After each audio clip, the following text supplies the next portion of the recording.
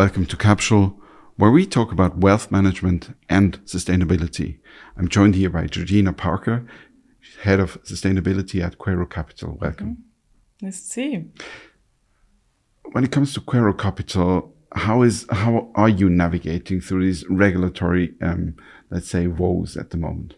Yeah, it's been a very busy few years in terms of regulation. Uh, we've had, as everyone is aware of, we'd have the SFDR, we've had the EU taxonomy, but we've also had country level regulation in France, we have proposal in the UK. So it's been quite complicated to navigate. Um, I think one of the really important parts or objectives of the regulation is greenwashing. Um, and we totally welcome any effort to regulate greenwashing in the industry because I think the the noise got extremely high during a period, and I think that started to be regulated down. Um, and for us, we were always conservative in the way that we communicated. So, you know, as we navigate through these different regulations, we have total conviction in our approach, and we're very comfortable with the way that we've approached it. Nevertheless, greenwashing is still a topic. You can read uh, headlines. Um, can transparency, can regulation help, or do we need to go you know one mm. step beyond and and have a clear view on what ESG is at the end of the day. Yeah, so I think that the regulation is helping. Uh, I think that I see that there's less noise, a little less noise in the industry. Um, I think there is, cons- uh, we feel a little concerned that there's a lot of lobbying in from other asset managers and maybe from bigger players to dilute some of the efforts of the regulation to really compartmentalize, compartmentalize the industry so that we have a clear division between Article 9, dark green funds, we have uh, but uh, versus the Article 8 funds. Um, so I think that we our view in general is that there should always be a qualitative assessment of companies. So I think it's very difficult for regulators to be very specific about what should and shouldn't be considered a sustainable investment. Um, and I, but I think that disclosure does really help, especially with the documents that we have now. You can very effectively compare funds against funds and challenge asset managers about what they're doing. Apart from regulation, what are the challenges that you're facing when it comes to sustainable investing? I would say the biggest challenge for us, and I mean, it's talked about a lot, but is data. And I think one of the things that there is um, an encouragement from the regulator as well, but in the market, is to be more data focused. So looking at KPIs and indicators um, and measuring the kind of portfolio impact or the sustainability of a portfolio that way. And data is really important, but we have three major problems with data. One is um, data quality. So we're still using data even in Europe that's mostly unaudited. Um, it may be only partial, they may be excluding part of their business. Um, so we have quite a long way to go on data quality. Uh, data availability, there's still a lot of gaps. When, when we look at many of our universes and certain data points, we see gaps, we see holes where companies aren't reporting certain data points, and which makes it difficult for us to have a kind of quantitative approach.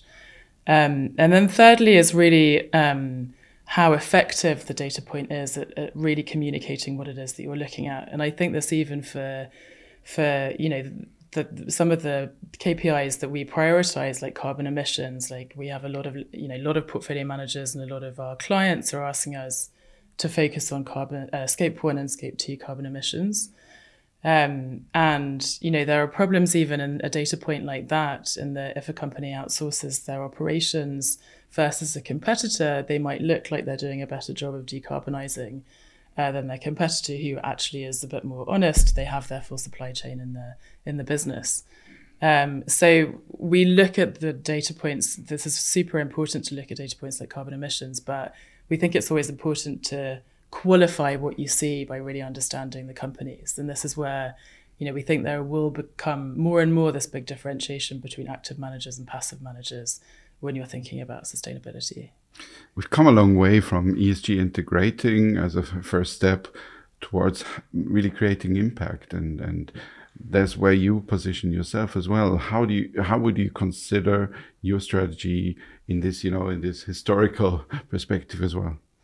Yeah so for us we i think of all the conversations that we have and i think as an esg team you can spend a lot of your time thinking about ratings and regulation and you know, you have to take a step back and think about what it is that we're trying to achieve. Why are we all doing this? And the point is to have a positive impact.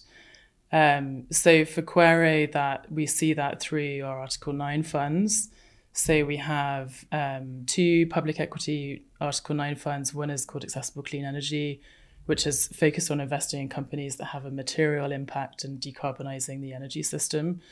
Um, and second, we have net zero emissions, so looking more broadly at the broad economy, at companies that are really going to make a difference in decarbonizing.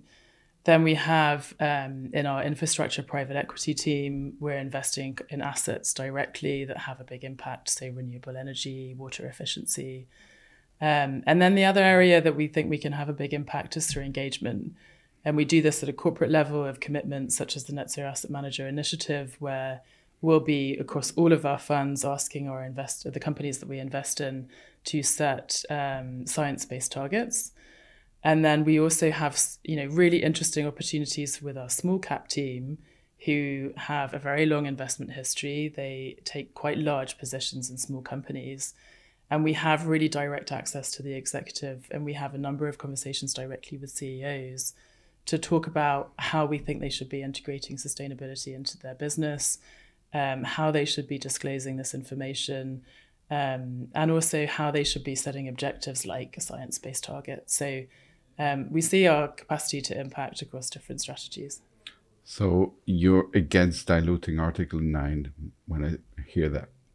Yeah, I think that um, we think that that's a real positive that's come out of the regulation is that I think it's about 5% of funds are Article 9 and there and the reason is that these are funds that are completely focused on um, sustainable objectives and I think that's great and rather than dilute Article 9 I would suggest that there's more effort to differentiate between the span of funds that are within Article 8. Georgina, thank you very much for your insight. Thank you very much. Thank you very much for listening. That was Capsule. Stay tuned.